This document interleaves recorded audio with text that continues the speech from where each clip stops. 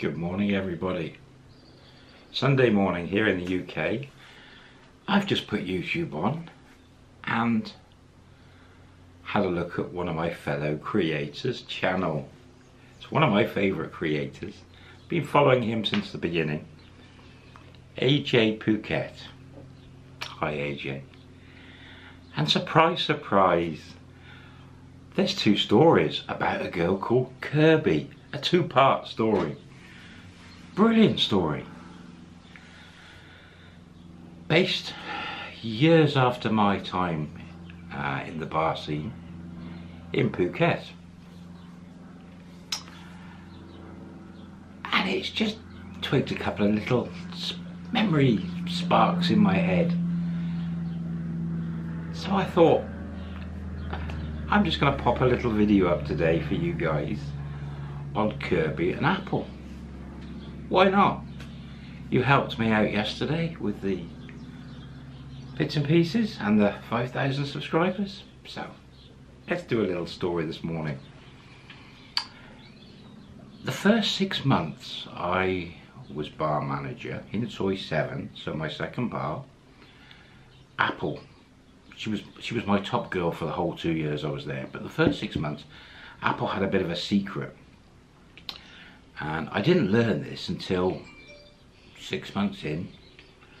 A guy walked in the bar, really well dressed. He was 40 years old, so about the same age as me at the time. Really well dressed, lots of bling, the gold. He was a slim guy, but gold necklace, glasses, and they were gold glasses. And this guy had money. Now you do know, you get the guys coming in the bar who throw the money about. They'll ring the bell and they'll try and buy everybody. But he wasn't like this. He was different. He was special. and he came in the bar. It was, I seem to remember it late afternoon, maybe four or five o'clock in the afternoon. Apple was in the bar and she was sat at the corner as usual talking to Frozen. This guy walked in. She leapt up, jumped out of her seat, ran across to him, threw her arms around him. Um, she then brought him in over to me and introduced him. And uh, his name was, it was either David or Dave. Um, American, could have been Canadian, never knew. But anyway, let's call him David.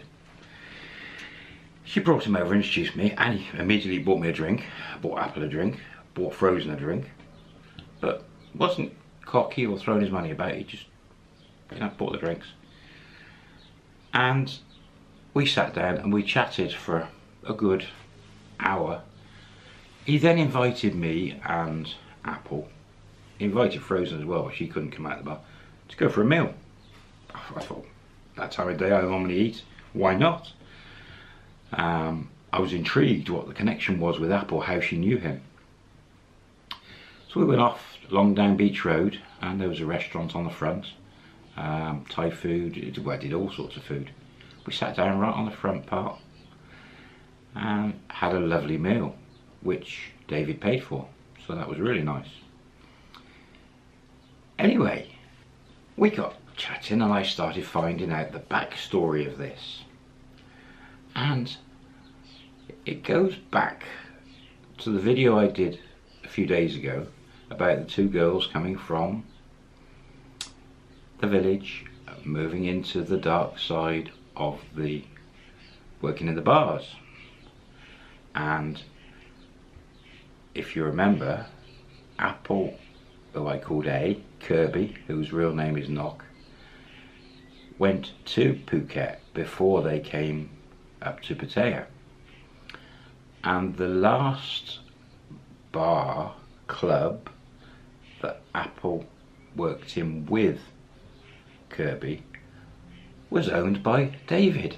He owned a club in Phuket in the main drag um, in Bangla Road and he was quite well off. It was apparent.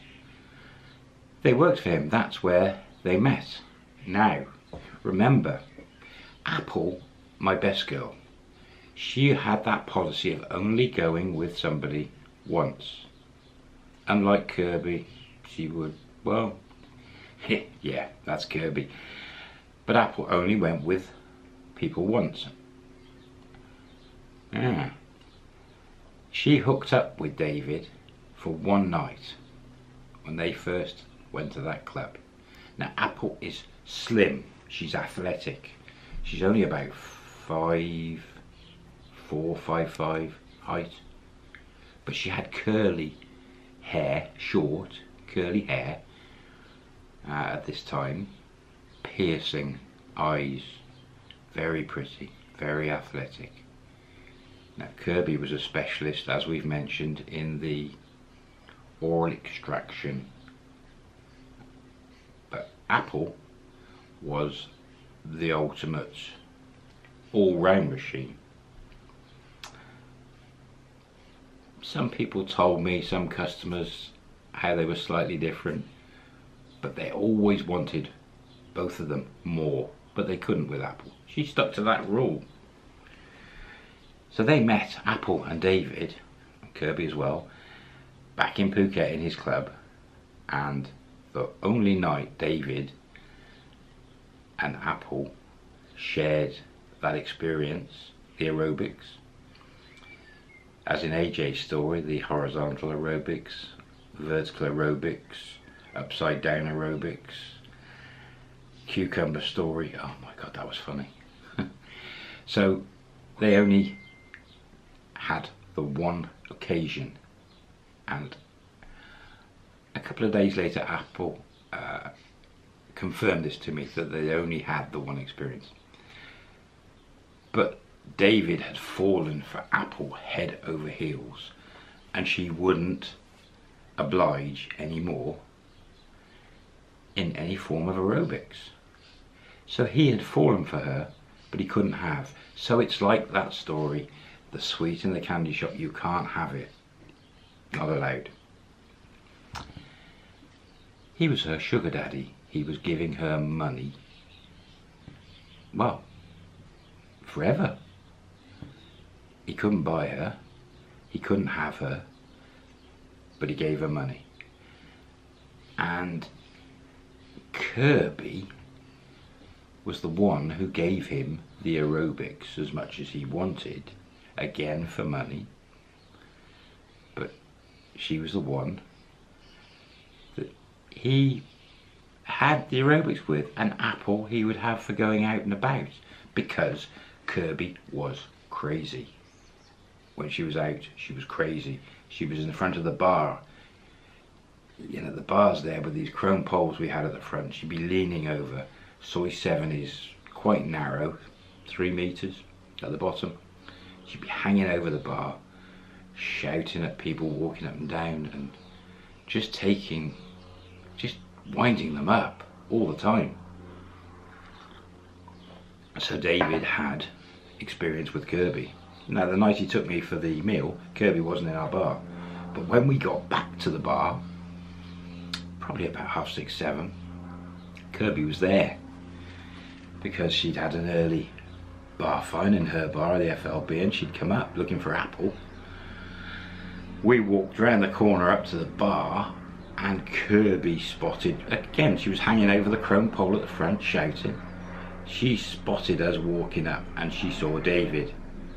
She, I don't even think she walked through the gap, I'm, pretty sure she went over the bar, ran down the road and threw herself at him, almost knocking him over and there's cars coming down Soi 7 and we're in the middle of the road and she leapt on him. it was funny.